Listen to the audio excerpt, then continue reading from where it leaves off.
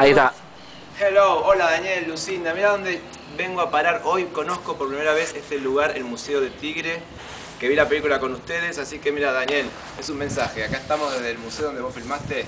Les mando un beso, un abrazo, los, estamos pensando siempre en ustedes, en toda la gente hermosa de Los Ángeles. Besos, chau chau.